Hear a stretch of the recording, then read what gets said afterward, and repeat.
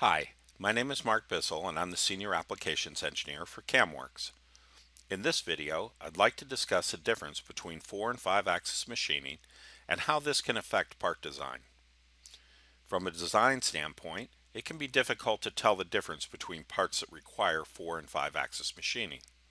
However, from a cost standpoint, it's easy to tell the difference because 5 axis parts are typically more expensive.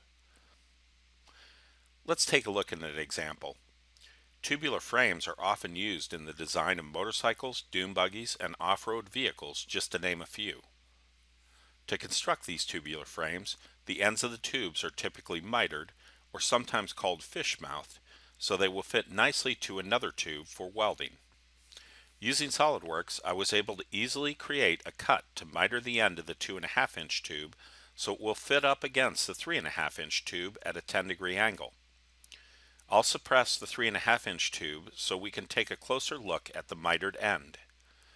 At first glance, you might think because we are working with a cylinder, this mitered end could be machined using 4-axis, but that is not the case.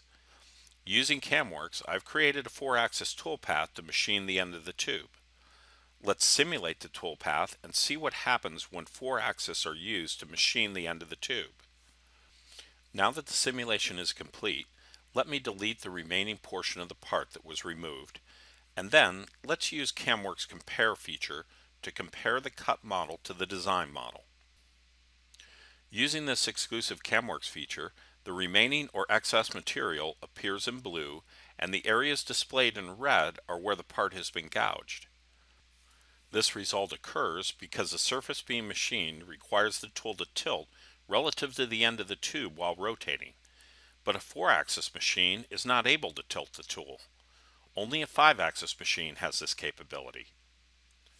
Let's look at a side view of the part and run the simulation again. Notice how when the tool rotates around the cylinder, it always remains vertical or parallel to the end of the tube. Now let's suppress the 4-axis operation and take a look at how a 5-axis machine could be used to correctly machine the part. Let's simulate the 5-axis toolpath and see how it machines the end of the tube. Now that it's complete, let's rotate the view a little and then delete the portion of the tube that's been removed by machining.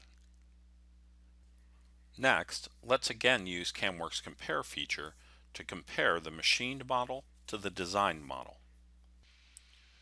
This time, we can see everything is in green, which means the part has been machined exactly as it was designed.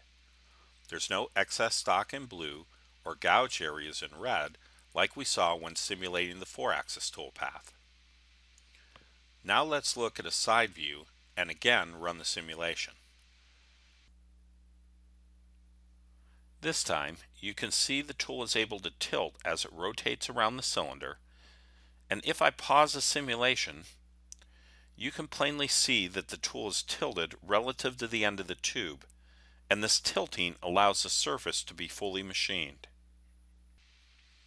I hope you're beginning to understand the difference between 4 and 5 axis machining.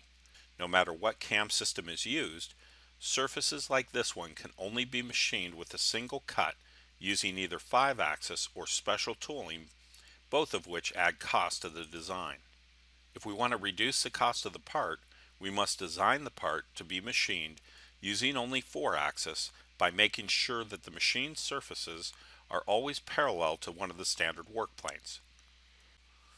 On this part, the end of the tube was mitered using an extruded cut in SOLIDWORKS and a circular sketch that was the same diameter as the outside diameter of the mating tube. Now let's look at another version of this part. On this part, the end of the tube was mitered by using a swept cut in SOLIDWORKS.